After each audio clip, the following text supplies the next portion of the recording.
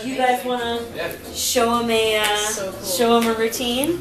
So, do you have any particular dance styles that you like or want to see? We've got Bollywood. We've got um, We get down to the classics, like you know, Yeah, like so funky classics. I mean, I do. You know, I mean, just in style, right. not music, but we're all. I mean, we do it all. Yeah. You guys want to do uh, Sukumbia? Yeah. Do it, everyone. I they had this Just before. press me. Yeah, let's do that Well, one. wouldn't that be next?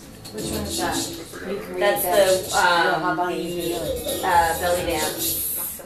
Indian Like with Rachel, this flavor. Oh, No, the um, it's the it's S S U Oh, with uh Yeah. with cash. Oh, yeah. Um, and uh, the venue if you want to go to Bollywood. So no other dance or fitness game has this many international flavors. So Right. we're really, you know, maximizing the variety um, in terms of of the different dance styles. So it really, you know, you just don't get bored very easy. Um, right. And then we have um, our our tutorial mode, which gives you lots of real time feedback. If you want to uh, sign in, oh, that's all right. Um, it'll give you the uh, the tutorial mode breaks down the four basic rhythms of Zumba: salsa, merengue, cumbia, and reggaeton, and then the basic steps within that. So.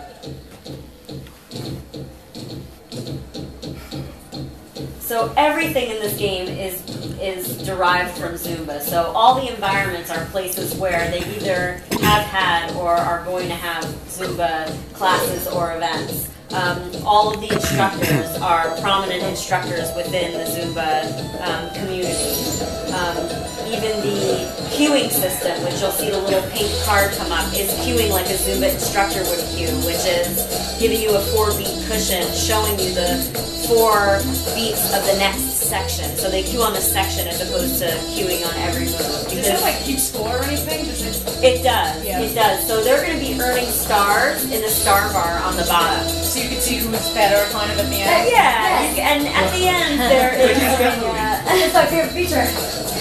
at the end there's a uh, you know you'll get your your statistics Right, so right, you right. see the technique and the calories that you burn and how many stars each That's player cool. gets. So there's like a side by do side. better next time, Exactly, and you know because Zumba isn't really a competitive thing, we didn't want to display the score all the way along. It's Right. more you know the the stars that you earned are based on the score that you're achieving all the way it makes along. people feel like Yeah, but you're earning stars, and look, this is cooperative and competitive because you're earning stars together. The object is to fill up the star bar together. So five each, and then um, that's a good subtle way of getting improvement. What happens if I started to dance? Would I be on the screen? and You have to start in the beginning. uh, you wouldn't be on the screen. There's only uh, two players, but you know we've had lots of dance parties where you know people just get up and start dancing too, and then you get a chance to learn the routine before you get tracked. You know, so inevitably your score is going to be better if you've done a little practice,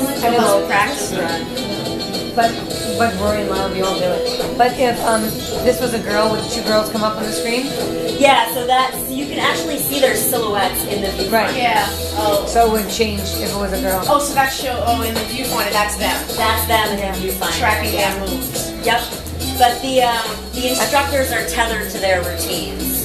So um, you know, every time this routine comes up, you would see this instructor. She has got a couple different Right, outfits.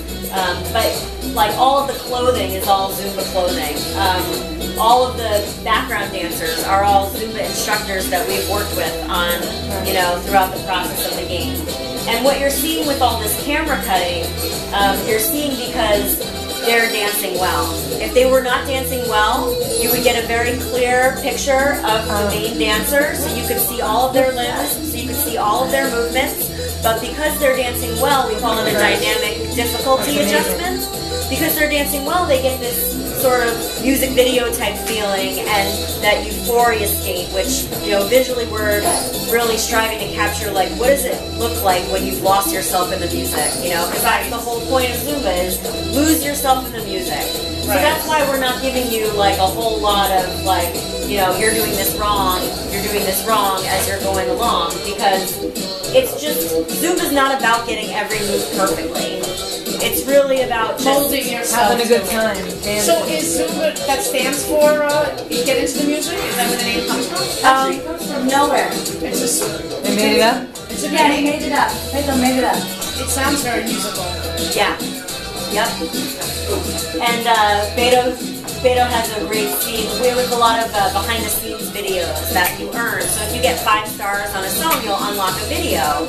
And so we've shown all of the instructors um, in their mocap sessions and their scanning sessions and you know talking about their philosophy as a Zumba instructor and some of the star. translations of the Spanish songs, like all these little videos. Right. Nice. And, all My right. fault, my fault. And uh, one of the things that Beto says is, you know, it's music, it's choreography, it's dance, it's culture, it's community, you know, it's fashion. There's not one word for it. It's Zumba.